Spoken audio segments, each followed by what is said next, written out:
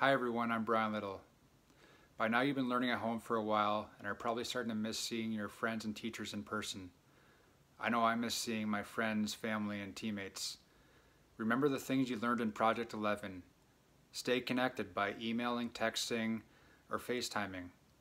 Right now I'm also trying to eat healthy, exercise, and get lots of rest, and most importantly, wash my hands. So hopefully you're doing the same. Take care and I'll talk to you soon.